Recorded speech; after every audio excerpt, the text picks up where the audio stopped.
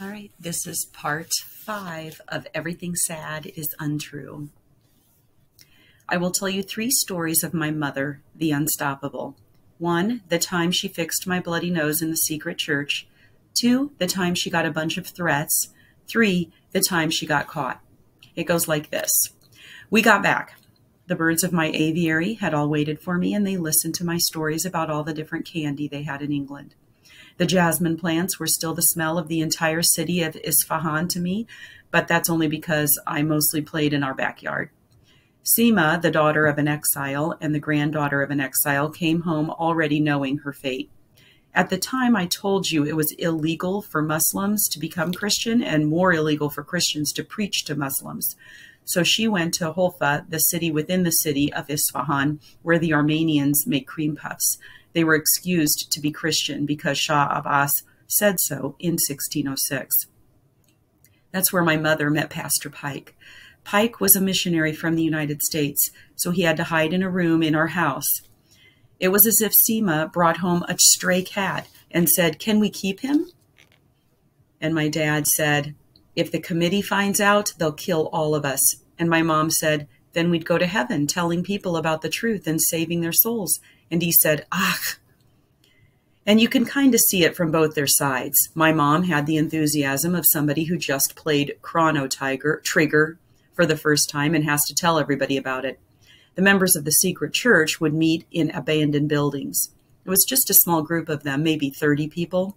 Everyone was careful about how they spoke, even to each other, because anyone could be with the committee. They would pray together about the other th- about other things, but also that the secret police wouldn't kick the door down at any moment and arrest all of them while they prayed. My sister and I would play in the parking lots outside the little doors to the basements of the abandoned buildings. It was like the Bible studies in Oklahoma. There was nothing ever for us to do. I was a climber and a jumper. She was a finder and an explainer. We hated waiting for groanies to talk about eternity. It seemed so obvious that everything was already eternal, that something made all of it, something that loved and was beautiful and was cosmically and royally ticked off with what everyone was up to. We never walked straight into one of the buildings where we met because it would look suspicious. So my mom would take us to the local grocer at the corner to see seem like we were walking around the neighborhood doing chores. The grocers had gunny sacks of dates and almonds next to stacks of fruit leather not Orek bars or anything like that. We got little bags of puffed rice, hemp seeds, and roasted chickpeas. If you picked each rice puff by itself and sucked the salt from it and waited till it dissolved in your mouth, then the Bible study would be almost over by the time you finished the bag. I never ate the chickpeas because they were as hard as cherry stones. At this point, I should also tell you I picked my nose a lot back then. Not with oily, salty fingers, I would lick them before. My sister would say, You are disgusting. I would also lick them after. Anyway, one day I was rolling a chickpea in between my fingers. They were almost done. They'd all walked out. They'd all walk out, not together, at different times without looking at us so it didn't catch attention. My sister had already tried to swap her chickpeas for my fruit leather, which was a scam. Now we were walking on a narrow garden wall. She said, You can't tell anyone, you know. I know. If you tell anyone, they'll kill mom. I know, I said again. I picked at an itch in my nose with my thumb. That's when I noticed the chickpea fit right inside my nostril. It was snug, and if I blew it out, it made a pleasant pop sound and flew off. I stuck another one in and shot it out at a yellow flower sprouting from the rock wall. You won't even get to see her. They'll just grab her and probably Baba too, and we'll go live with Grandpa Armand. That was my mom's dad, the stern governor, who would never have taken us. Why not Baba Haji, my dad's dad, the poet farmer, the love of my grandmother's life? Because, said my sister, just don't tell anybody. That's when I knew she was lying. If anything happened, of course we'd go to Baba Haji and Mama and Masi in Ardistan. She just wanted me to stay quiet.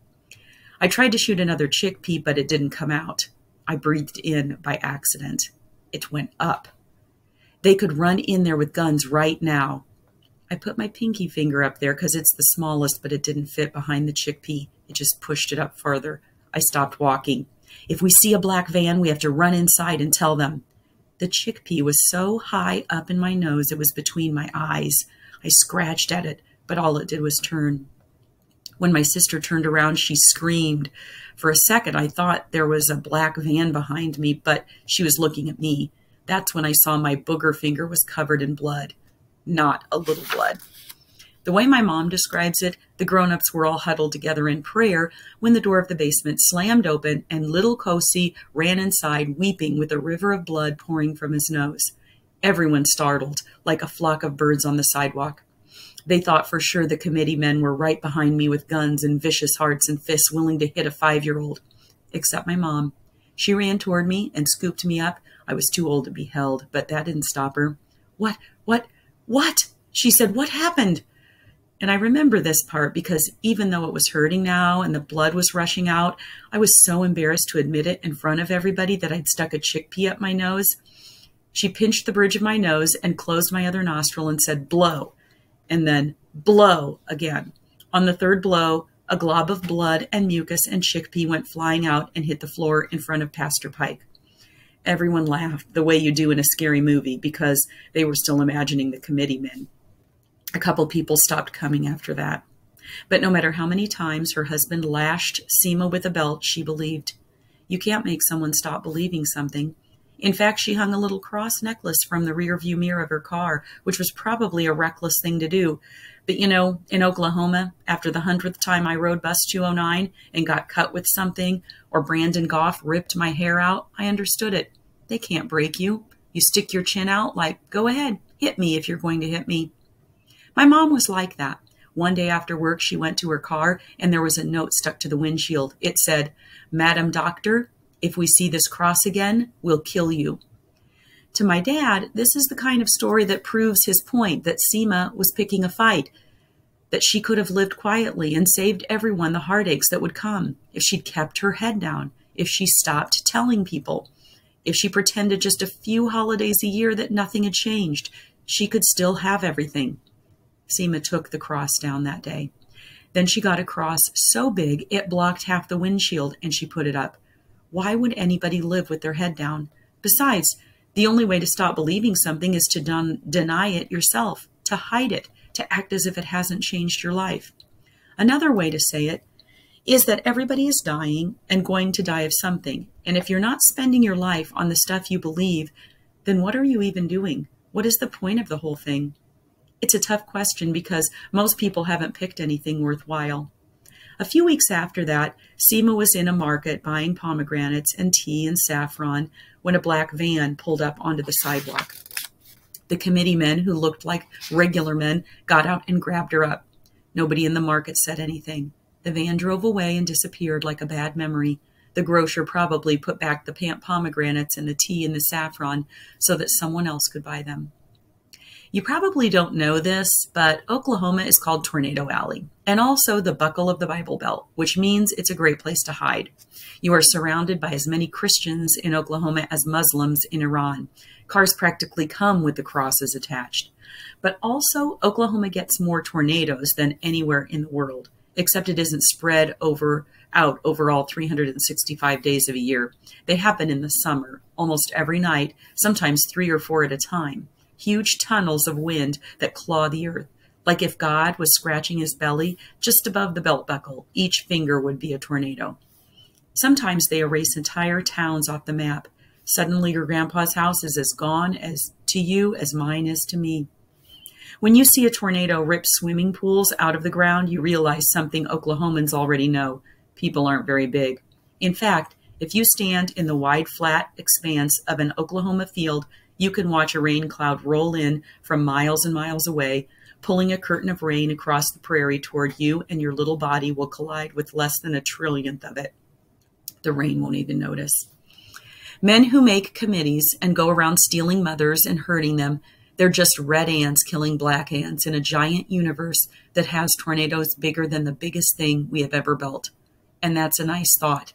It's nice to be unimportant. There's a song here that goes, Oklahoma ditches run Oklahoma red when Oklahoma rivers have been overfed with Oklahoma rain from Oklahoma skies, and I've still got Oklahoma dirt in my eyes. I think it means we need more than rain to clean us. Nobody ever, ever speaks about what happened to my mom when the secret police took her. I don't think they realize that I have seen more than seven rated R Van Damme movies, and my imagination is probably worse than what happened. I mean, I don't know, maybe it isn't.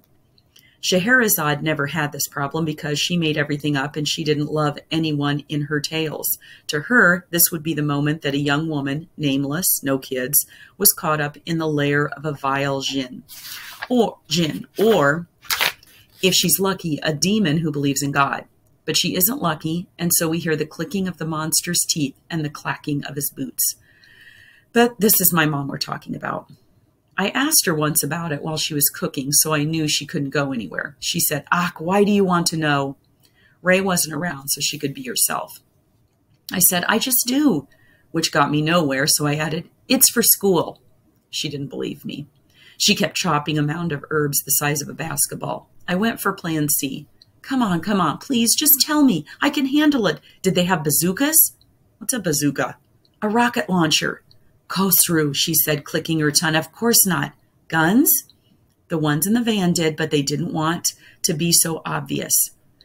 The word she used also means rude. Like Persians are so polite that even the secret police who go around killing people don't want to be so rude as to scare the kids in the market. So they had badges? How did you know they were the committee? She finished with the herbs, scooped them in both hands, and dropped them into the stock pot. All the leaves wilted and shrank until they all disappeared into the broth. She was looking into the pot, but had gone back to the day in Isfahan, you could tell, and was remembering whatever answer there was. We just knew. They looked completely normal, men in corduroy pants and knit caps like your uncle wore. I thought I recognized one of them, and in the van, the one in the front seat turned and said, I'm sorry, Madam Doctor. You knew him? He knew me. Maybe I treated his mother or something. Then what? She didn't say anything. I used the same trick again, where I'd say something so ridiculous she had to correct me. Did you go to prison? No. The torture prison. Even. Even prison? Did they take you? No. Is that where dad went? Khosrou. She shushed me, like she was embarrassed even though there wasn't anybody around. And besides, he only went for a short time. At first, the government thought he was a big time dealer, since he'd bought more than any person could use for themselves in a year. But really, the giant stash was to throw a party for a whole town, which is so perfectly him. He was just being a good host. Then where? I said. Was there a different prison? It wasn't a prison, she said. Then what? I say. Do you see how frustrating this is, by the way? They were all like this. My mom, my dad, even Ray. They hid stories that explained what we were even doing in Oklahoma, Maybe just from me. I don't know. If you're the only person everyone else is keeping from a secret, then you don't know what you don't know. They had houses all over Isfahan, she said. The houses were unmarked and sat in the rows of tense neighborhoods like uncracked knuckles. They lived together? I said. No, no. They lived with their families, maybe just a few houses down. They used the phones to hold that they used the houses to hold people, to interrogate them. Is that what they did? It occurred to me at this point that I didn't want to hear this anymore. The one who knew me looked just like your uncle Reza. He had a red beard. He was still very young, very respectful. Why didn't you scream when they took you from the van to the house? No one would do anything. They would pretend they didn't hear. Everyone was scared. She paused. And who would they call anyway? This was the police. So they took her into the house where evil happened next door to all the sweet families. What did it look like? Ah, Khosrou, I'm working. I'll help. It's okay. The house was normal. Did it have a TV? No, no, there was no furniture. It took me to an he took me to an empty room with just one chair in it. Did you sit in it? Eventually. They left you alone? For a while. What did you do?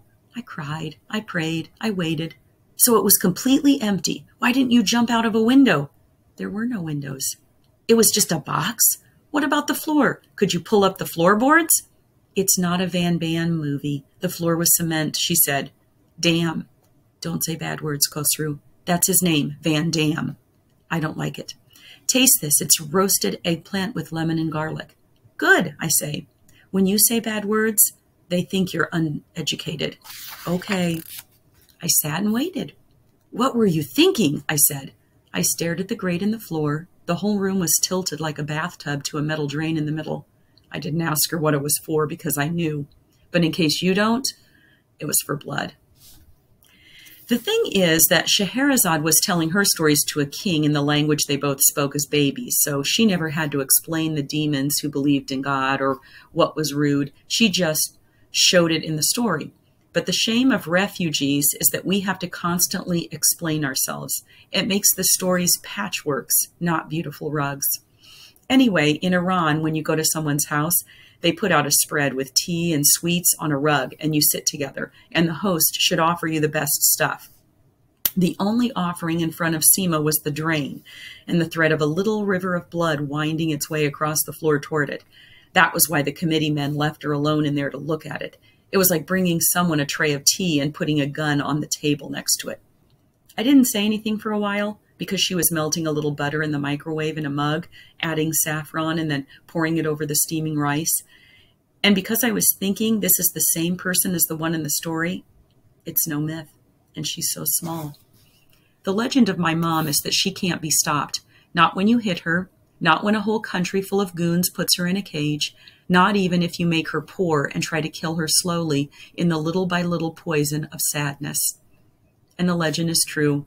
I think because she fixed her eyes on something beyond the rivers of blood to a beautiful place on the other side. How else would anybody do it? The dinner was finished, and she hadn't told me everything that happened. I said, So how did you get out?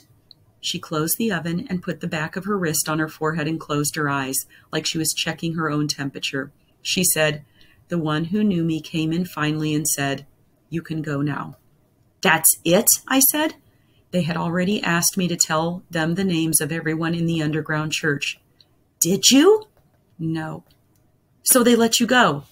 He said, Please, Madam Doctor, they'll kill you and your kids if you don't tell them. And then they let you go? She nodded. Did he say anything else? That I had one week to think about it. And then you just walked out the door? Nobody saw you? They saw me. You just walked home? I ran to the market. To get the car? And groceries. We needed dinner. King or queen reader, this is a good place in the story to hold our breath. With Seema in the demon's clutches, running through Isfahan toward a home she knows she can never live in again, and ask a question that relates to this. Would you rather a God who listens or a God who speaks? Be careful with the answer.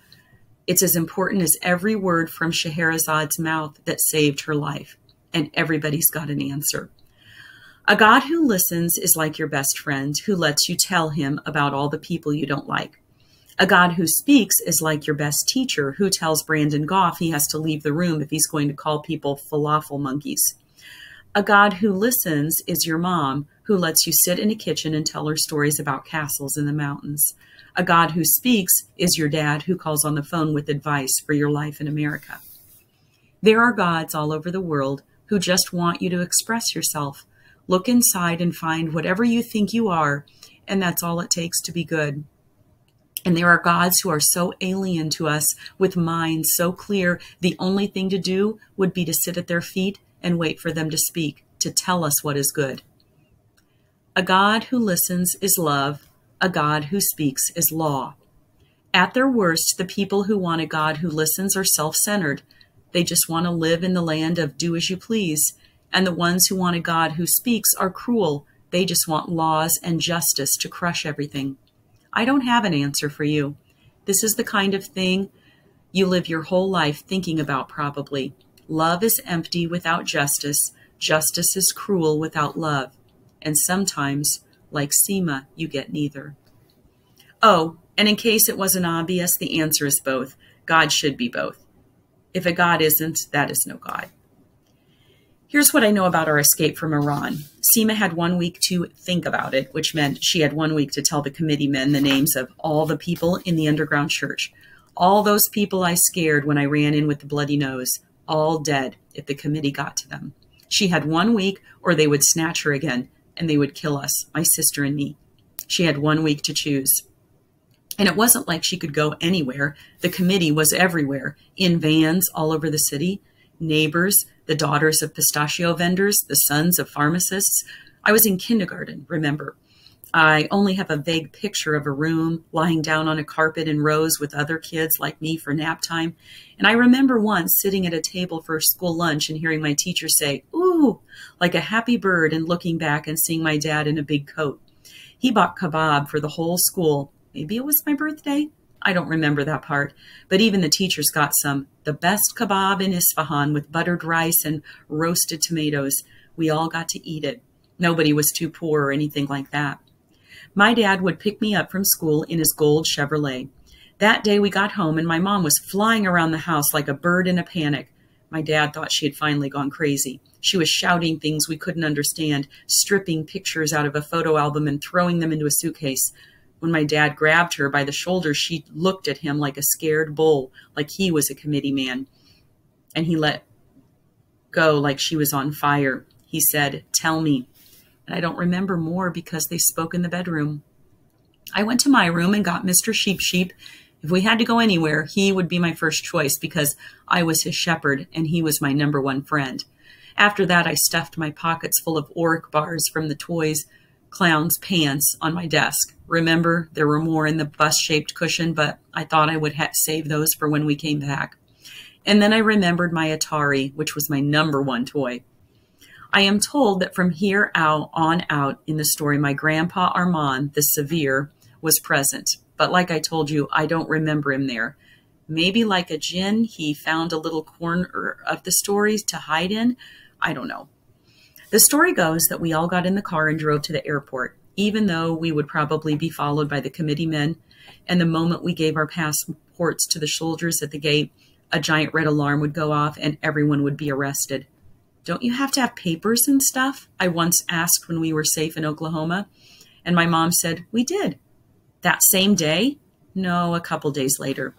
I imagined it all in one day, one big chase scene, but my mom says I went to sleep that night in my own bed, holding Mr. Sheep Sheep until my grandpa Armand could come help.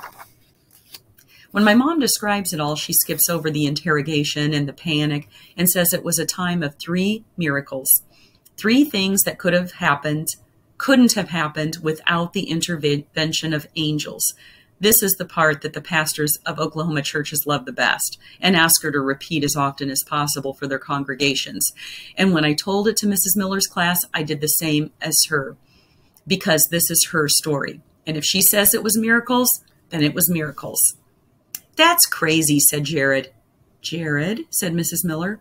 He's just making it all up, said Jared.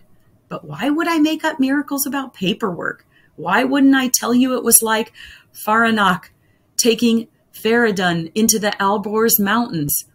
There's a real proper legend that everybody knows, and they'd think I was cool if I was like that. If you're going to make it all up, you'd make it so you were the hero. It'd be like, yo, this part of the story, I was the hero, Faradun. Put your head down, Jared. I'm not taking questions right now. And people would be like, that's cool because it is cool. Faradun was a stud Finnegans who was so cool that the evil king dreamed he was walking toward him with a hammer to destroy him. So the king tried to kill Faradun, where he when he while he was just a kid. Faradun's mom had to take him out of the country. And for a while she gave him to a rainbow-colored cow to give him super milk while she was away. Then he grew up into a man with shoulders so broad and a brain so fast that he could only ever be a king. And in fact, in Persia, they would say King Faradun shine with the light of greatness and wisdom, and people would have to cover their eyes when they saw him, which is where salutes come from. And Jared, always Jared, he'd say, like military salutes? And I'd say, yes, the salute is a Persian symbol for shielding your eyes from the light of greatness when a boss comes in the room. Then Kelly would say, your story is kind of like that, since you had to escape with your mother from an angry king. And I would nod and say, except for the rainbow cow part, yes. And the whole class would stand up and give me a salute, and I would salute them back.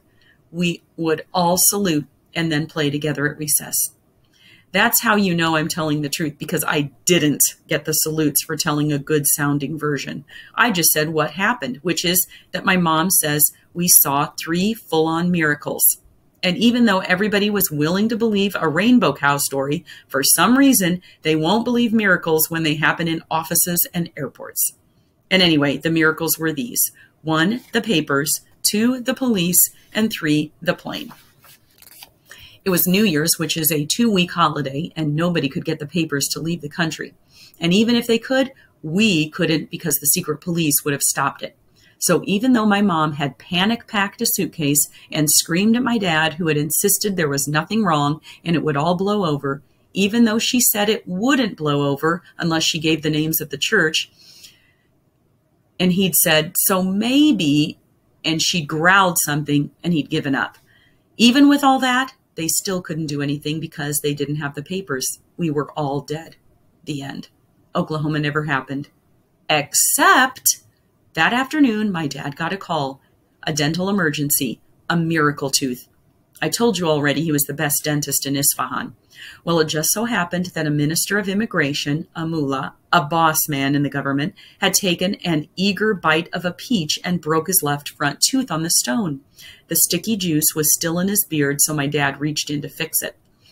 It was like the story of the mouse pulling a thorn from the paw of the lion, except my dad is the lion and the mullah is a toad. But we lived in the land of the toads and needed toad papers. That's how we got them. If it had gone any other way, we'd be dead. The mullah goes for a pomegranate, we're dead. My dad is the second favorite dentist in the city, we're dead. But everything went all right, and we all piled into the car. I imagined I imagine my mom as she crossed the street with her suitcase, looking in both directions for an unmarked van parked somewhere. I didn't know we'd never see our birds again, or I would have said goodbye. I would have maybe gotten a sprig of jasmine from the yard and kept it in my pocket. I don't know. Maybe I'd have gotten one of my dad's shirts. Anything. But I had Mr. Sheep Sheep and a pocket full of work bars. In the car, my dad drove like a mouse, scurrying down side streets to avoid any people we knew. He said, Is there any food? No one said anything, so I held out an Oric bar. My son, he said, which was like saying, My great son, thank you. My sister hit my elbow and said, I want one. So I gave her one, and another for my mom because at this time she was my favorite and she'd feel left out. I ate the last one, and that was the last Oric bar I ever tasted. If you want a God who listens, maybe all you want is pity for losing your only friend, like Mr. Sheep Sheep. If you want a God who speaks, maybe all you want is revenge. I'll get to the other two miracles. For now, we're standing in a brush field beside a parking lot, my mom, my sister, my dad, and me. I'm standing a little farther out and staring. I'm staring nervously at the tall grass swaying above my head and holding Mr. Sheep Sheep. There are no trees in the field. In the distance, the airplanes come and go. There is no place to hide for a baby sheep. The Gronies are staring at me, then looking at each other in code. I'm standing a bit away from them. I take another step back, clutching my friend tighter. I'm wearing my corduroy pants and a plaid shirt. That's what shepherds wear. My dad is wringing sweat from his mustache. He clicks his tongue to hurry this ceremony along. My sister, who never loved sheep, sighs. My mom doesn't want to force me. She kneels down and looks in my eyes. Her eyes are big and black and very, very sad. Baby June, she says to me, it's time to set him free. I don't think any shepherd has done this kind of thing before, but Mr. Sheep Sheep is a sheep, and I, am I the only one who can say he's a sheep? You don't set sheep free, they're your friends. It's unthinkable. Little sheep left in the wild are carcasses. Every story tells us so. Baby sheep, lost in the woods, must immediately search for their mothers. No distractions from strangers. Sheep wandering around alone in parking lots, like this one, would die. They would lose their lives. Wolves walking down the mountains into the dry, thinning scalp of the middle of Iran would be looking for juicy sheep. For the long journey across the dry lands, Allah would provide, they would think. And they'd pounce when they saw him. They'd crunch all the buttons of his eyes for the nutrients. They'd slurp all the stitching thread of his mouth and nose. I don't want to do this. My mom's eyes dart to every vehicle in the distance. And we're not coming back for him, I say. No, she says. I remember looking at my dad and realizing this is news to him too, that we're never coming back. His eyes grow wide and begful. His mustache becomes a red, unhappy cut across his mouth. This is the look of sadness that I imagine on his face when we speak on the phone. My sister is reciting fairy tales and patriotic songs since the grown ups haven't been paying her attention. Our dad picks her up and she stops. Let's go, she says, but we can't go until we free Mr. Sheep Sheep. If we went into the airport with him, they would take him at the security checkpoint and cut him open with a knife. I didn't know this at the time, but they told me in Oklahoma. They would cut his throat and look inside the stuffing for illegal drugs, which is a cruel and ridiculous thing to do. If my family wanted to smuggle anything, we just make custom linings for a luggage set. If they cut Mr. Sheep Sheep like the bull, there would be no river of blood except for the one pouring from a small exploded heart in my chest. If you can believe a little kid like me could just fall over dead, then believe it here. So we can't go into the airport and we can't carry out, uh, stay outside because the committee men would be following us. Any second, they might peek through the window of our house, see nobody home, and realize what happened. We stand in the tall grass and I clutch my stuffed friend. My dad eyes a van driving slowly across the lot and says, We have to go. The committee men would have killed us in the field if they found us. I look at my sister. She smiles at me, the reassuring smile of an older sibling. Then she drags her thumb across her throat and points at Mr. Sheep Sheep, the same smile stitched on her face. I wrench my eyes upward without tilting my head, my strategy for holding back tears. My pupils roll back, my mom shaking her head, saying, Absolutely not. It will break his heart, my mom says. I don't know what she's talking about, only that after being friends with him my whole life, I'm supposed to leave Mr. Sheep Sheep to die. My mom has the one suitcase. There are no toys in it. Maybe we could hide him somehow? I'm crying at this point and have no idea why the world has to be like this. And then I realize something, something I hadn't noticed. My dad doesn't have a bag with him. He's leaving me at the airport. I'm his Mr. Sheep Sheep, and he's going to send me somewhere I don't even know without him. I put down Mr. Sheep Sheep. He props up on the dirt on a flat panel bottom. His stubby round legs poke out in front of him. His arms reach out for a hug. I look in his black button eyes. They beg. I turn my back and my mom sweeps me up in her arms. My chin bounces on her shoulder as she begins to run. I wave goodbye to my friend. He won't live past sundown, I think. That was the third creature I ever killed. The other two miracles were later at the airport, but I don't remember them firsthand. So here's what my dad said when I asked him one Sunday from Oklahoma Is that what she told you? Yeah. They weren't miracles, he said. Tell me anyway. There's no such thing as miracles, Khosrou. Okay, whatever. Only science, only poetry, only the mind. So at the airport, and the mind can do anything. It can create anything. It is God, Khosrou. The mind is God. That's blasphemy, Dad. So what? It's uh, so I'm blasphemous. What more can happen? People could be listening. You can hear them sometimes. The American secret police, the CIA, tapping into our calls to listen. Sometimes we hear them cough. Let them listen, he says. Let them hear how all this talk of God ruined my life and took my family. He's crying now. I think it's probably midnight in Isfahan. He's sitting in the dark, empty house. The birds in the walls are probably asleep. Or maybe he opened the windows and let them free for a long time ago. I don't know. I wait for him to finish. Here in Oklahoma, the sun is up. We're not even looking at the same sky or anything cheesy like that. We're in different worlds. He's calling from the land of stories and genies. I'm in the land of concrete and weathermen. Or maybe I'm in the new world, free and full of adventure, and he is in the dying city, crumbling into dust like an elemental fiend. It doesn't matter. They're far apart. How did you get past security? I ask. Why didn't the committee put big red flags on our passports? Accident, he says. Accident, I say. Complete accident. We would have set off all the alarms, big red lights the second he scanned the passports. Your mom was praying the whole time. What were you doing? Slipping money in between the papers. How much? Enough to buy an Oric factory? So you just paid off the guard? No, that wouldn't be an accident. That's how the world works every day. We got to the front of the line. Your mother was mumbling. The guard had a mullah's beard. So? So he was religious. Everybody was insane but me. He wouldn't take any amount of money. So you take out the cash? Did you take out the cash so he wouldn't be insulted? I tried. If he saw it, he'd be furious. And then what? I nudged your mother forward so I could sneak it out. She was so scared. It was a terrible week for her. She just said, Please. Then what? I said. Ach, wait a minute. I'm telling you. She said, Please. And then your grandfather Armand came running, holding your sister. He said, Seema, Seema, your son is missing. Me? You, you son of a dog. Armand told us he took you into the duty free shop. The toys were over on the other side of the security gate, and so you must have wandered over there.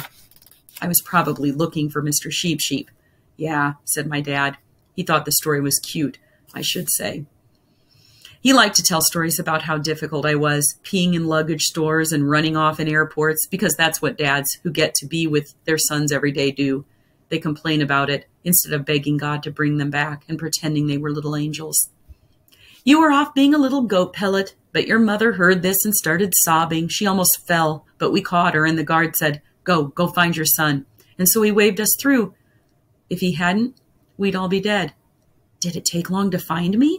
You know, you were right in front of the candy shop. The woman gave you a chocolate and you followed her around like a piglet. We scooped you up and ran to the terminal.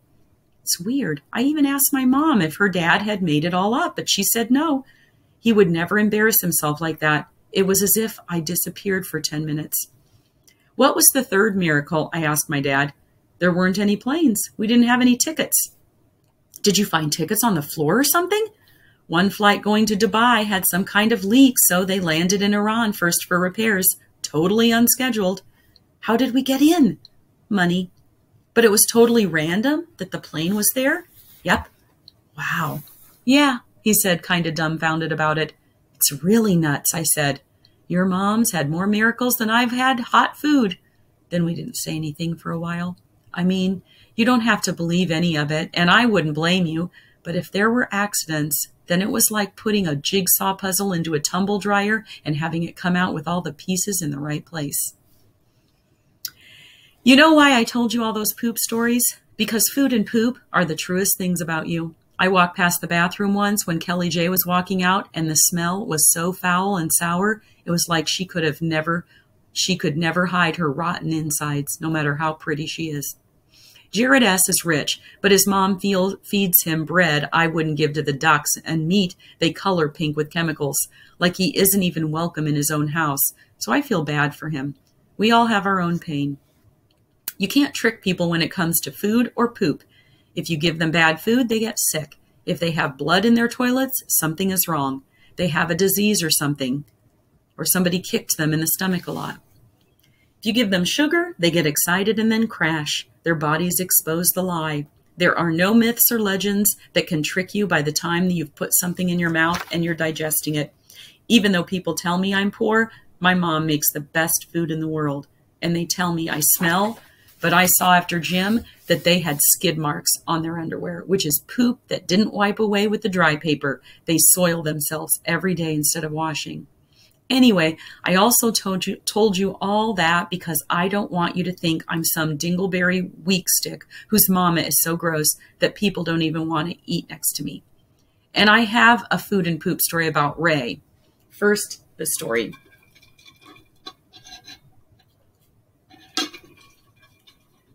One night, really late, so late it was early, I was reading the part where Sam the Hobbit sees Gandalf come back, and it's like seeing his grandpa return from the land of death and memories.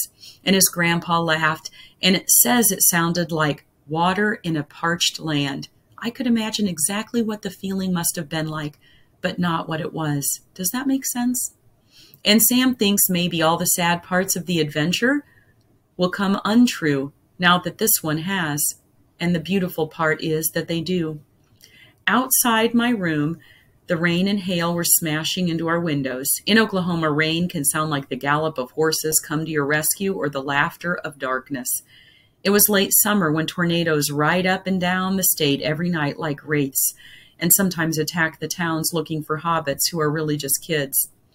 I had a kuliche, which is a bready cookie stuffed with cinnamon and walnut, which is exactly like the lembas bread that the elves make, which means maybe J.R.R. Tolkien had Persian friends. If you ever read the books, that really is the best part. Ray opened the door without knocking. Daniel, get up, he said. Why are you wearing a trash bag? I said. Your mom thinks it's safer. Why are you crying? I'm not. I wiped my eyes away. I was reading. My eyes are red. It's two in the morning.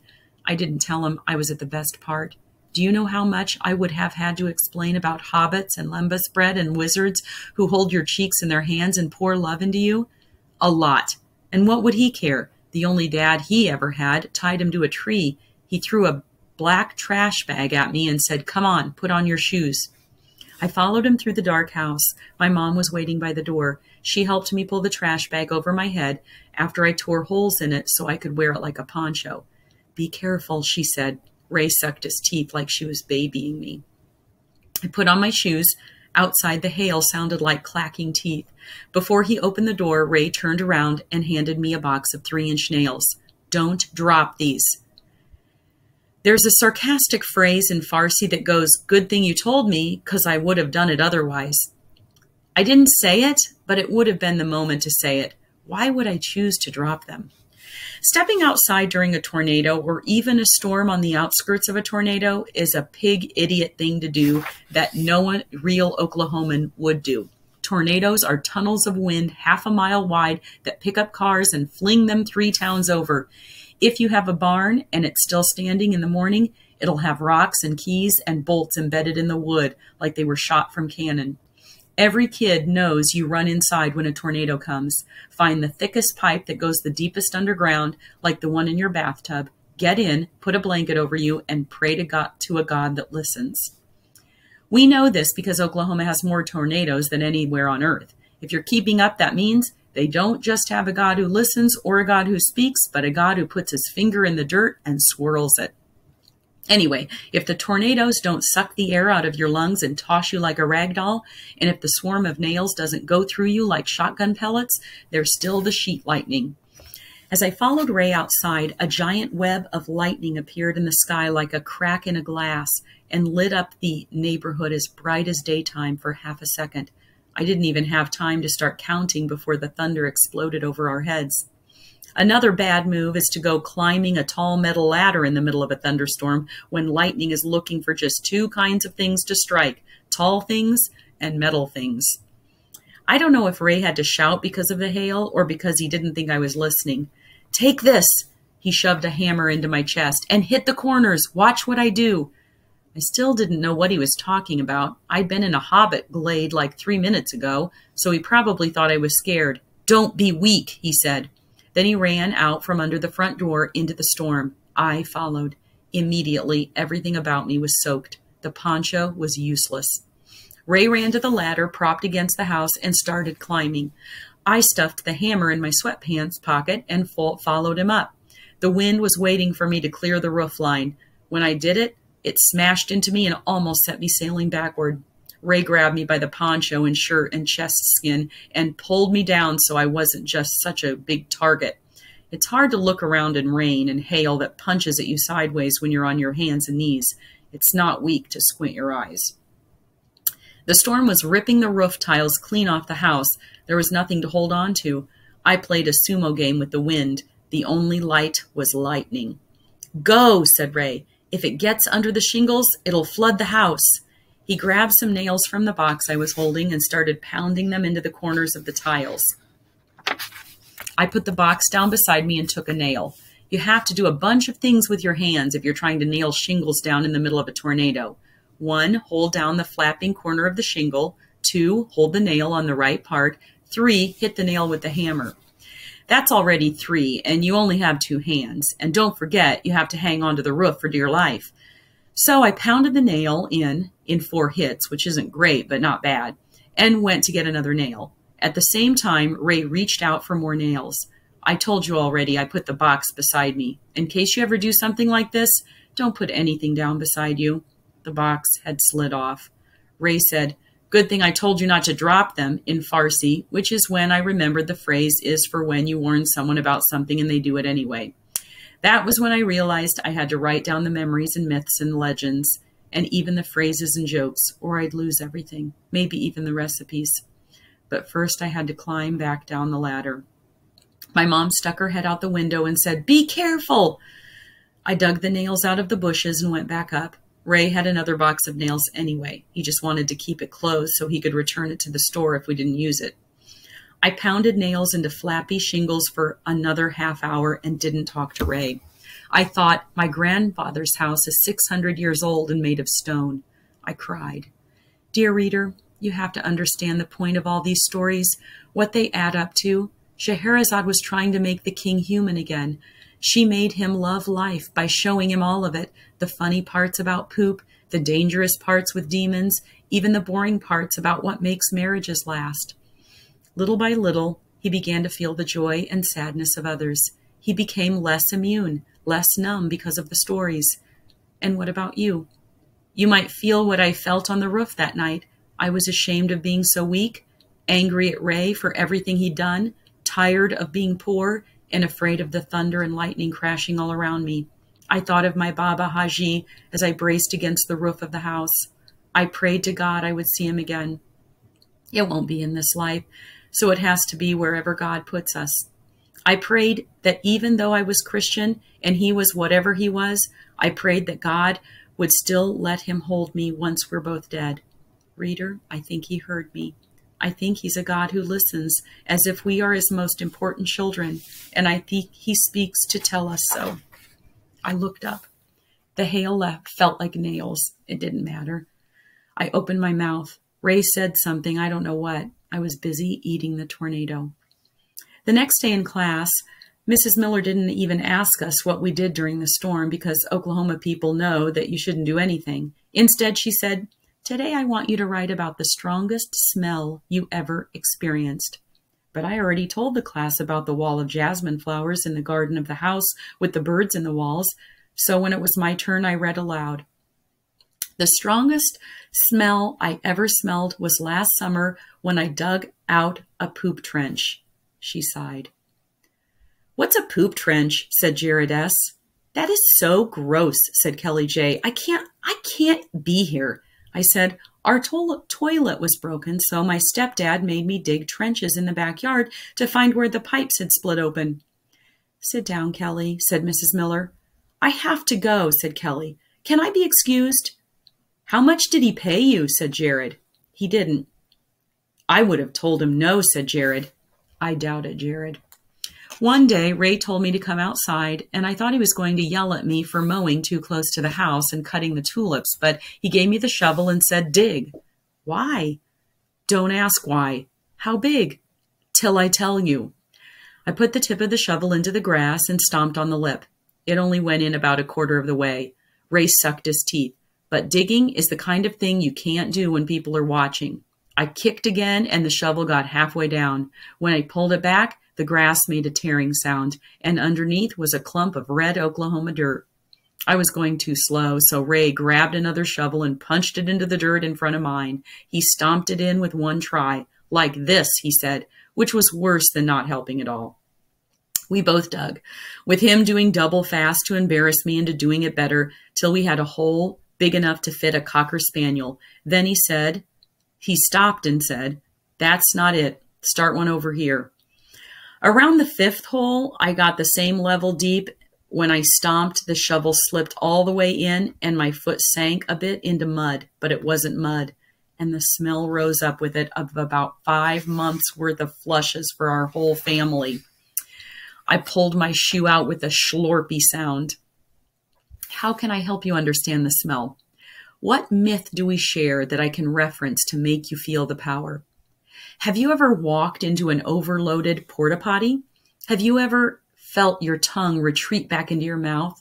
Do you know why it does that? Because all smell is particulate. That means little bits of poop wafting in the air have gone into your nose and down your throat, and your body is telling you, whatever you do, don't eat anymore. So you gag. Your mouth opens and you get a real heave going and swallow another wave of rancid smell. And that's when I bent over and puked right into the trench. Ray said, Ach, come on. And he jumped away. About five feet under the trench, the pipe going to our house must have burst and turned all the surrounding dirt into sewage. Ray threw down his shovel and said, Clear out around the pipe. And he left. The trench he wanted me to dig had to be big enough to fit a refrigerator. I threw up two more times and shoveled my puke out as I went. When I finished, it was almost sundown, and Ray reached down to lift me out of the hole, but I didn't take his hand, even though I had to put my own hand in the slop to hoist myself up. I wasn't mad. I just didn't want his help. To know the truth about yourself, you have to know if you can eat tornadoes for food and shovel a mountain of poop. So when Kelly J sees your lunch and says it smells gross, or Brandon Goff says you're you calls you a dirty monkey, then you can think you don't know anything about what food is and where poop goes. They may not, that might not sound like a lot, but it's a true thing in a world without many true things. The only lie was that the poop trench wasn't the strongest smell I ever smelled. It wasn't even the worst smell. A worse smell than all of that is opium. Opium is a smell I can't and won't describe. Instead, imagine the smell of flowers, but sweeter and with broken glass in it. That's my next memory after Mr. Sheep Sheep because I don't remember the airport or sneaking into the plane. When I say we snuck into a plane, you probably conjure up whatever plane you saw last. Maybe you imagine a dude from the grounds crew with a mustache and those orange ear protectors counting a wad of cash at the bottom of the stairs. Then you see a little Persian woman with two scared kids stepping onto a into the narrow cabin in the back. Maybe the lady making announcements scowls at them Maybe she, because she's no smuggler and because there are no seats and they'll have to stand in the back when they make coffee, where they make coffee. I don't even remember the moment my dad left us or let us go. However you want to say it. I don't have a picture for him kneeling down and looking me in the eye or a hug. I don't know. Wouldn't you cry if you lost your family? I wasn't ugly then, and no one thought I smelled weird. I was his son and maybe he was all torn up about it.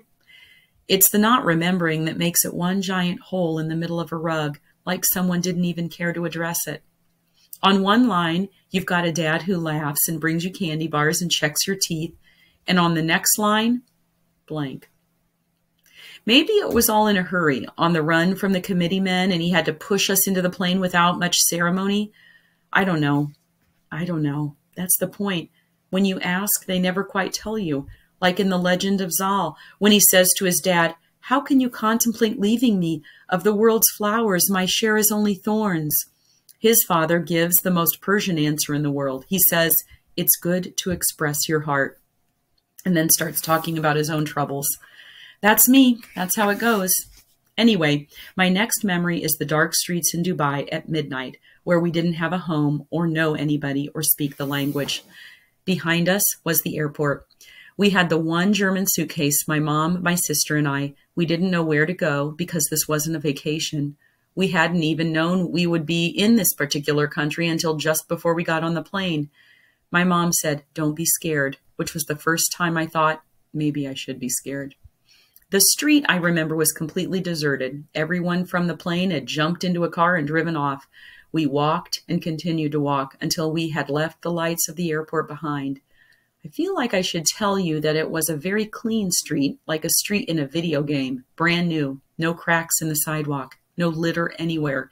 If you ever see someplace like that, it's very noticeable because everybody is used to a bit of dirt or candy wrappers or something. But this street was dark and quiet and brand new. I think my mom was hoping there would be a hotel. I remember saying, Where are we going? And my mom saying, I don't know. And that was the second time I thought I should be scared. We didn't have any place to sleep. We were homeless, I guess.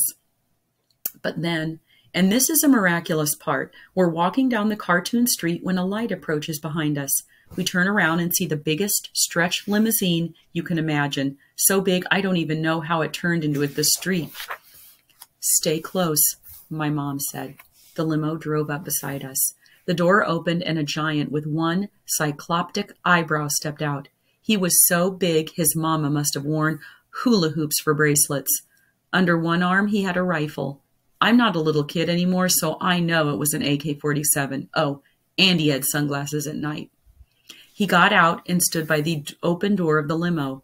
We stood frozen in front of him because of obvious reasons. There was still nobody in the dark street like it was all a dream where you forget to fill out the background, or in Final Fantasy where the whole world recedes and it's just you and the bad guy in a space like an empty page. We didn't know if he was a bad guy. Get in, he said. We got in. I realized because Jared S. said so that I never explained Dubai, which is like saying explain Canada. But whatever, I'll try. Of course, then everybody says my reports are boring, or they don't say it, they just sigh like a Jennifer. Even though it's kind of like if you went to Iran and tried to explain Oklahoma football, and the people said, Wait, what's Oklahoma? And you'd say, A state. And the other people said, What's a state? And you never even got to the football part but I'll be quick. Dubai is a city in the United Arab Emirates. That's a country on the Persian Gulf. It's actually made of seven emirates, which are like states, but more like principalities because they're owned by seven princes called emirs. That's why they're called emirates. All seven emirates are only as big as half of Oklahoma, but the UAE is one of the richest countries in the world. They have a mall that sells nothing but gold. Every store, floor to ceiling, gold. It's so hot there that swimming pools boil. So one emir built himself an indoor ski resort. It's a giant building with a ski slope covered in snow and giant fans on full blast to keep the air cold. They have castles like in the movie Aladdin. The streets are so clean because the fine for littering is a ton of money and a flogging. The whole country is a prince's private property. I mention that because when we got into the limo, the giant with the gun closed the door and went to sit in the front. And we found ourselves sitting across from a man with a thin black beard, smoking a hookah pipe with long fingers laced with gold rings. He seemed far away and mild, the way you might imagine a king would be if he had nothing to worry about. My mom spoke to him in a bunch of languages till they found one they both liked.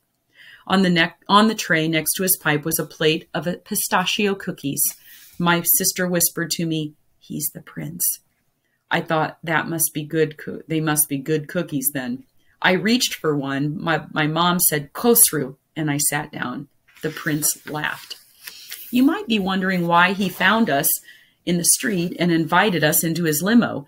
Well, remember those friends of my dad's I mentioned, the ones he visited in London? Legend has it that my dad knew these people and nobody knew that he knew these people he called a great prince of Dubai with his mythic charm and told him our situation. So here the prince came, like the eagles in the hobbit, swooping in at the darkest hour to save us. That's what I thought, anyway, as we rode in the sweet smelling car through the garden estate of the emir, past marble beds full of black tulips to his castle by the sea. I hadn't seen Aladdin yet, but when I got to Oklahoma years later, it was the references I had to explain this part to people. The palace towers weren't so round as the ones in the movie, and the real castle had helicopters, but it was all close enough. We stepped out of the limo in the moonlit courtyard. The dry heat felt like a school bus passing by your face. The giant led us into a door along the side. The prince went somewhere else. At this time, I remember thinking, Are we rich now? I was just a kid, remember. We entered the kind of room they only have in museums vaulted ceilings, paintings on the walls. But even I knew the most valuable thing there, maybe the most valuable thing I've ever heard of, was the one massive Persian rug, the size of half a football field laid out across the floor. It was so big I couldn't even imagine the loom that must have made it. I imagined the carpet hanging like the sail of a ship from two wooden masts, and my grandma slowly making each knot. It would have taken as long as she was alive, I thought. I realized at that moment I would never see her again. For me, she would forever be a mythic weaver in the basement of an ancient house in Ardestan. She's there now. I'm here in Oklahoma where rugs don't matter to anybody. That's the end of it. There are no magic rugs to fly me to her. There are only shag carpets for rich Oklahomans and million dollar rugs for princes. And the refugees are lucky if they get quilted toilet paper. Believe me, even when I thought we were going to live in the marble palace, I would have given it up to sit in that basement dirt floor again. But anyway, it was a grand ballroom, and 20 women in black burqas swept back and forth, placing trays of food, enough to cover the rug and feed a thousand people. They didn't say anything to us or to each other. The trays were piled high with saffron rice with grilled tomatoes, ground beef kebabs, filet kebabs, chicken and lamb, yogurt with cucumber and dill, fresh spring onions, purple basil, radishes, pickled vegetables, and a whole grilled fish with garlic. Imagine half a football field of food, and there was more coming. Until the prince entered the room and the women in the burqas shuffled out in silence. They kept their heads down and wouldn't look at us. Are they going to eat? I said. Shh, said my sister. Sit, please, said the prince. We sat at the far corner of the carpet and put some food on our plates from the trays closest to us. The prince sat on the opposite end.